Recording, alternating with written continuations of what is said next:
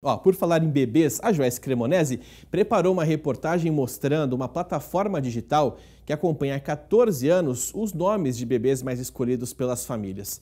Desde 2020, tem dois que estão no topo da lista. Vamos ver. Essa é a Helena, com sete meses de muita fofura. Super esperada e desejada pelo David e a mulher. É uma criança que Acho que todos os pais desejariam né, ter uma, uma criança em sua família para somar.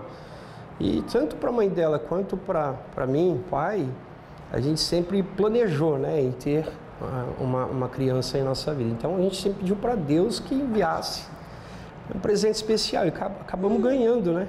Um presentão. Na hora de escolher o nome, a mulher do David queria algo mais clássico. Quando ela soube que estava grávida, né, a gente pensou em qual nome daríamos para a neném.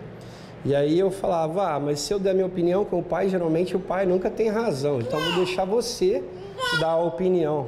Aí ela falou assim: ah, eu, eu penso em Helena, é um nome bonito, um nome forte, um nome popular. Em 2022, nasceram pelo menos 294 mil bebês no país e logo nos primeiros segundos de vida já carregam algo importante o nome, que, aliás, a partir deste ano, pode ser mudado a partir dos 18 anos de idade. Mas, apesar da possibilidade de mudança, a escolha do nome continua sendo algo especial e alguns deles são tendência entre os pais. Em 2022, para as meninas, Helena foi o mais escolhido.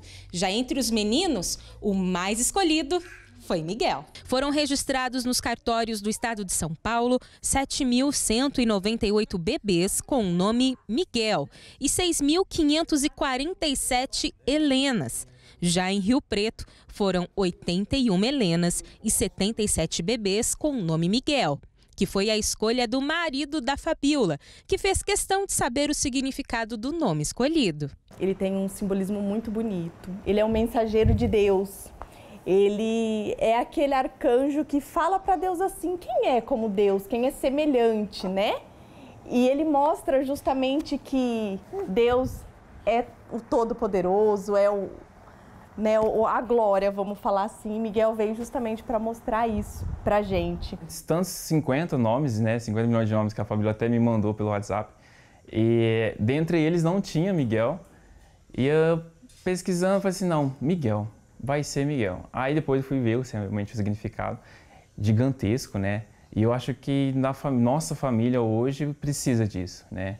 Realmente esse protetor, esse significado né, de Deus por trás desse, desse nome é de extrema importância mesmo. Independente do nome escolhido, o que todos os pais desejam é que os filhos sejam felizes. Eu desejo que ele seja um homem muito próspero, muito feliz, rodeado de amor, que ele sempre cheia, seja com a vida dele cheia de muitas bênçãos. Miguel Anjinho, Helena, é nome lindo também, então acaba tendo períodos, né? a gente acaba enfrentando nomes da moda, né? A gente tem altos e baixos de nomes, alguns nomes que no passado eram muito, muito comuns, aí caem em esquecimento depois voltam. Teve a época dos Enzos, né? Tinha um monte de Enzo, enfim, aí vão mudando. Foi a época da Valentina também, a parte sobrou aqui para mim, é verdade, que também teve o um período de altos. Então, sempre tem alguns fatores externos que acabam colaborando. Tem pais que pegam pelo significado, outros acabam pegando pelo nome da moda e tá tudo certo, tudo bem, mas é que tem seu nome legal que vai acompanhar a gente pelo resto da vida. Você gosta do seu nome? Eu confesso que eu adoro o meu. Meu nome era para ser Tiago, aí meu irmão acabou optando por Marcelo. Então, acabou aqui, ó, sou feliz com o meu nome também.